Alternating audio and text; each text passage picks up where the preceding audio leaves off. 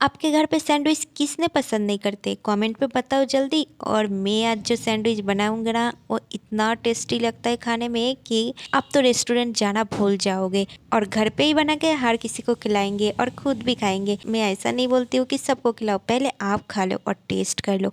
और जब आपको लगेगा ना इतना टेस्टी है, तब आप सबको खिलाना। तो चलिए, आज की रेसिपी शुरू करते हैं और उसके पहले वीडियो को लाइक करके चैनल को ज़रूर सब्सक्राइब कर दीजिए, क्योंकि आपके एक सब्सक्राइब मेरे लिए बहुत ही इम्पोर्टेंट है। तो दोस्तों, मैंने कुकर ले लिया और कुकर के अंदर ढेर सारे आलू उबालने के लिए रख दिया। और जब तक आलू उबल जाए, तब तक हम और एक काम कर लेंगे। तो चलिए, आगे का प्रोसेस दिखाती हूँ। तो देखिए गाइस यहाँ पे हमने बहुत सारा ब्रेड ले लिया। बहुत सारे ब्रेड मतलब मैंने पाँच ब्रेड ले लिया, क्योंकि मुझे पाँच सैंडविच बनाना है। आपको जितना सैंडविच बनाना है, उसके हिसाब से ही आपको ब्रेड लेना है। अगर आपको एक सैंडविच बनाना है तो एक ब्रेड ले लीजिए। अगर आपको पाँच सैंडविच बनाना है तो पाँच ब्रेड ले लीजिए। मतलब गाइस एक सैंडविच के लिए एक ब्रेड चाहिए। मुझे तो पाँच सैंडविच बनाना है, इसलिए मैंने पाँच ब्रेड ले लिया। और हम ऐसा तिरछा करके काट लिया। तो गाइस देखिए, बिल्कुल इस तरह।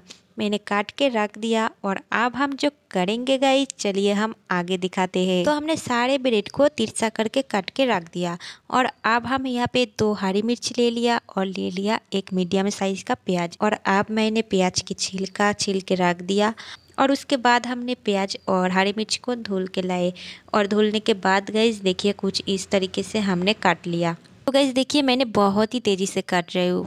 ऐसा लग रहा है कि मेरा हाथ तो नहीं है, ये मशीन है। लेकिन ऐसा सोचना भी मत गाइस ये वीडियो में ऐसा दिखा रहा है। उसके बाद गाइस देखिए, मेरा आलू उबल गया। तो अब मैंने प्रेशर कुकर खोल लिया और सारे आलू उबल गया और आलू को हमने अच्छा से छील के लाए। और उसके बाद गईज हमने जो भी किया, चलिए हम आगे दिखाते हैं। तो गईज हमने हाथ की मदद से आलू को अच्छा से तोड़ लिया और सारे आलू एक साथ आटा जैसा कर लिया। और उसके बाद गईज हम इसके अंदर डाल दिया, काटा हुआ प्याज और हरी मिर्च। और हमने ये सब चीज़ देने के बाद अच्छा से सेट कर लिया। और गाइज़ उसके बाद हमने इसके अंदर दे दिया थोड़ा सा नमक। और नमक देने के बाद हम अच्छा से सारे चीज़ मिला लिया और अच्छा से हमने सेट कर लिया। तो चलिए गाइस आगे का प्रोसेस हम आगे दिखाते हैं। तो गाइज़ अब हमने ले लिया गैस के ऊपर कढ़ाई और कढ़ाई गर्म होने तक हम इंतज़ार करेंगे। तो गाइज़ देखिए कढ़ाई गर्म हो गया, अब हम इसके अंदर डाल दिया ऑयल और ऑयल डालने के बाद हम इंतज़ार करेंगे ऑयल गर्म होने तक। और गाइस कुछ ही देर में ऑयल हो गया गर्म और अब हम इसके अंदर डाल दिया थोड़ा सा हल्दी। और हल्दी के साथ साथ हमने इसके अंदर दे दिया थोड़ा सा नमक। और नमक डालने के बाद गाइस हमने वो सारे चीज़ इसके अंदर डाल दिया जो हम पहले से ही सेट करके रखा था। और गाइस हमने सारे चीज़ अच्छा से फ्राई कर लिया। और फ्राई करने के बाद हमने ये साइड करके रख दिया। और उसके बाद देखिएगा, इस हमने बड़ा वाला एक कटोरी ले लिया और उसके अंदर हमने दे दिया बेसन। तो यहाँ पे हमने हाफ़ कप बेसन ले लिया, आप आपके हिसाब से बेसन ले लेना। तो गाइस यहाँ पे हमने बेसन लेने के बाद उसके अंदर हमने डाल दिया थोड़ा सा मिर्ची पाउडर और थोड़ा सा नमक।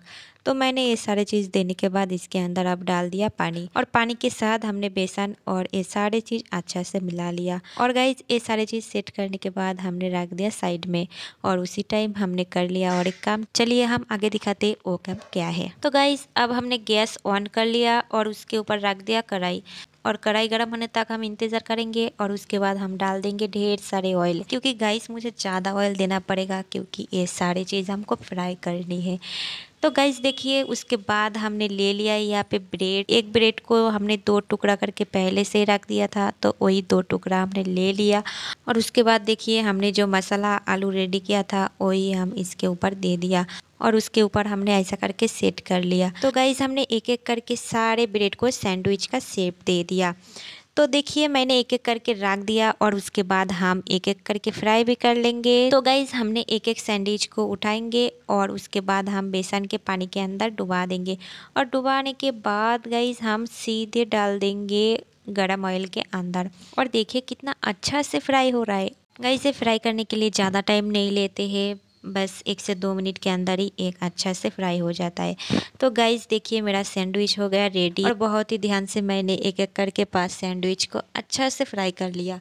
और गाइज़ ये सैंडविच खाने के बाद इतना टेस्टी लग रहे थे कि मुझे लग रहे थे कि मैं सुबह का नाश्ता भी कर लूँ डिनर भी कर लूँ, रात का और लंच भी कर लूँ।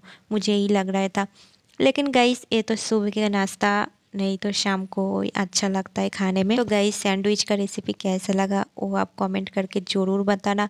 और वीडियो अगर अच्छा लगे तो वीडियो को लाइक करके चैनल को प्लीज़ प्लीज़ प्लीज़ ज़रूर सब्सक्राइब कर देना, क्योंकि आपके एक सब्सक्राइब मेरे लिए बहुत ही इंपॉर्टेंट है। थैंक यू सो मच मिलते हैं नेक्स्ट वीडियो पे।